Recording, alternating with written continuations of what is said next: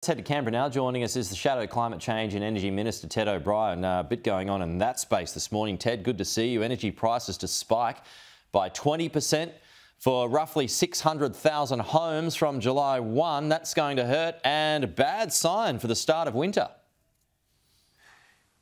Good morning, Peter, and you're dead right. Um, another day, another warning that your power bills are going up and they're going up under the same government that promised the Australian people a reduction in household power bills by $275.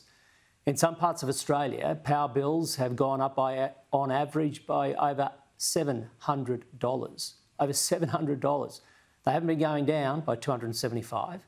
Now Australians are being told that, yep, they're probably going to cop another 20% on top there's going to be no end to this. Um, Labor is taking us down the wrong path with their energy policies, and Australians are paying. I had a, a, business on the program yesterday, fruit and veg business, uh, who told us, Ted, that uh, his electricity bills at the moment are more expensive than his rent uh, and it's very, very difficult to afford. Do you, uh, and, and given the fact that we've got now got another price rise that's coming for a lot of folks from July 1, I mean, does this lead to, to more closures than perhaps you originally feared? Peter, they're just copying it, honestly. Businesses have been on their knees now for months on end.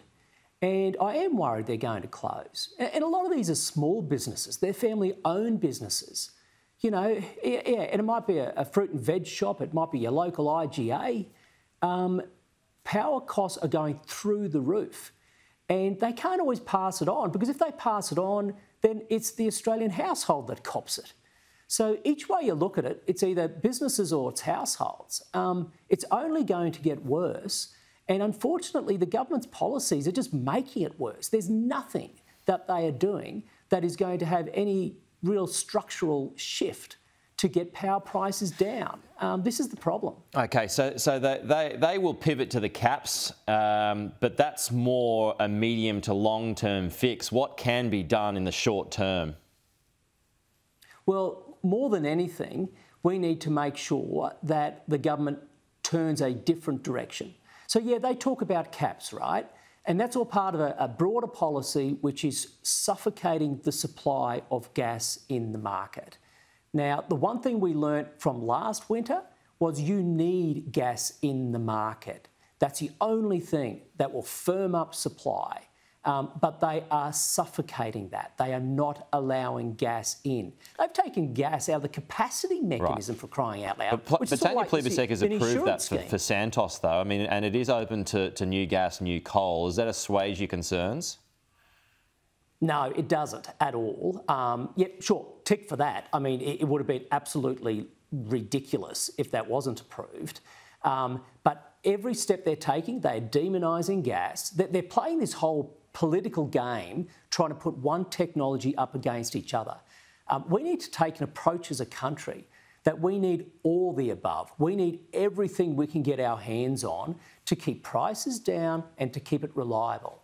Um, but the Labor Party has a very different view. They want to pick exactly which technologies should work, what companies should um, supply which companies.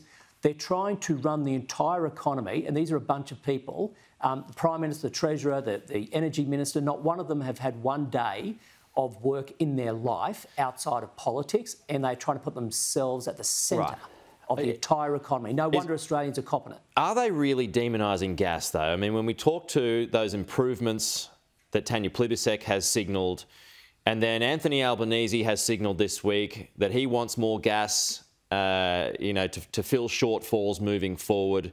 Is that demonising gas?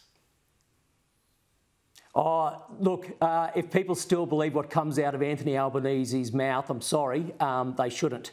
Um, this bloke promised everything, didn't he? Weren't mortgages coming down? They're going up.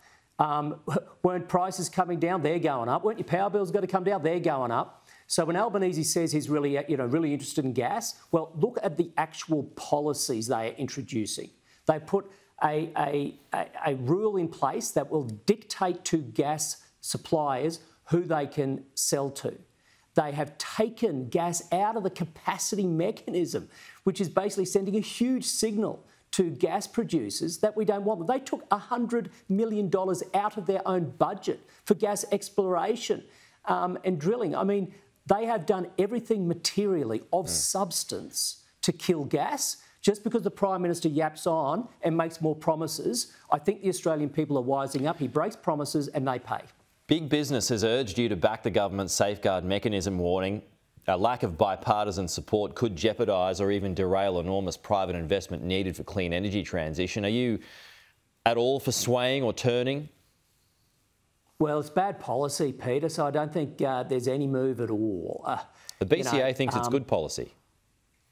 Well, look, I understand why businesses are getting nervous because, again, Anthony Albanese promised he wouldn't ever do deals with the Greens, and he's going to looks like they're going to do another dirty deal with the Greens. So I understand why governments would, why business is saying, gee, the last thing we need is yet another Labor Greens deal. But this, this is a carbon tax. And so one of two things is going to happen. You add a tax right now, businesses will close, or they're going to pass the cost on to consumers. Um, this is what the, the safeguard mechanism is all about, right? So if you're laying a concrete slab at home, the prices are going to go up. Um, if you're doing some brickwork at home, prices are going to go up because the price of cement will go up because of a new tax. If you've got a car, prices are going to go up because the price of oil is going to be going up because of the new tax. If, if you buy a loaf of bread uh, at the supermarket, those prices are going to go up because the price of urea, fertiliser, is going to go up because of the government's new tax. This is a hidden tax that, that will be uh, hitting the Australian people. Um, and the government's wondering why the coalition doesn't want to support a new tax in the midst of cost of living crisis. There you have it. Why? Australians should not pay for the incompetence of a Labor government, Pete. Ted O'Brien, uh, we'll leave it there. Thank you, though. We'll talk to you again soon.